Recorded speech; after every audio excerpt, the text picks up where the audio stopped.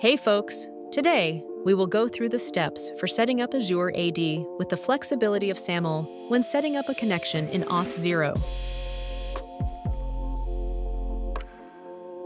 To begin the setup, let's navigate to the Azure portal. From the Welcome page, click on Enterprise Applications under Azure Services. On the Enterprise Applications window, click on the New Application tab at the top, then click on Create Your Own Application tab. Enter the name of your application, such as Azure via SAML. Select Integrate any other application you don't find in the gallery, non-gallery, and click Create.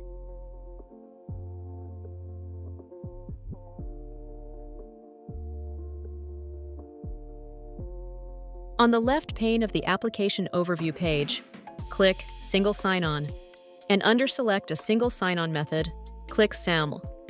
In the basic SAML configuration box, click Edit to the right. On the basic SAML configuration pop-up window, under Identifier, Entity ID, click on Add Identifier.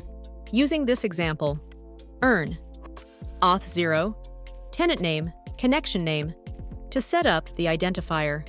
Keep in mind that the connection doesn't exist in Auth0 at this point, so you can choose any connection name. In this example, let's name the connection Azure via SAML. The resulting identifier will be urn auth0.mytenant Azure via SAML. Additionally, do not include the full tenant domain in the identifier, only the tenant name. Click on Add Reply URL under Reply URL. Assertion Consumer Service URL. The URL should include your tenant name, the region, and the auth0.com. However, if the tenant was created before June 11, 2020, then the region can be omitted from the URL. Once the identifier and reply URL have been entered, click on Save at the top. A message will display indicating that the single sign-on configuration was saved successfully. Scroll down the page. In the SAML Certificates box, click Download, next to Certificate, Base 64.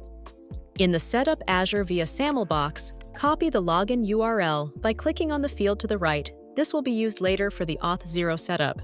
Now that those steps are completed, let's navigate to the Auth0 dashboard and finish setting up the connection. On the left pane, click on Authentication and then Enterprise. Select SAML at the top, then click the Create Connection tab on the top right corner. On the new SAML connection window, under the connection name of field, set the name to what was entered for the Azure setup. In our example, this was Azure via SAML. Under the sign, in URL field, paste the login URL that was copied earlier from the Setup Azure via SAML box in Azure. Under the X509 signing certificate field, click on Choose File and upload the certificate that was downloaded earlier in Azure. Scroll down the page and click on Create at the bottom. Now let's go through the steps to test the connection. Click on Applications at the top and toggle on the application that uses the connection. After that is completed, navigate back to Azure and click on Users and Groups on the left pane. Click on the Add User Group tab at the top. Once on the Add Assignment window, click on None selected under Users on the Users window, select the corresponding user by clicking on the box next to their name and click Select at the bottom, then click Assign. Back on the Auth0 dashboard, click on Back to SAML at the top.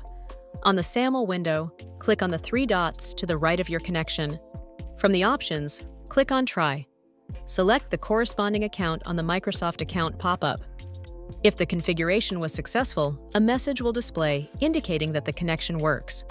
You have successfully learned how to set up Azure AD as a SAML Enterprise connection. Thanks for watching. If you found this video helpful, please like and subscribe to us on YouTube.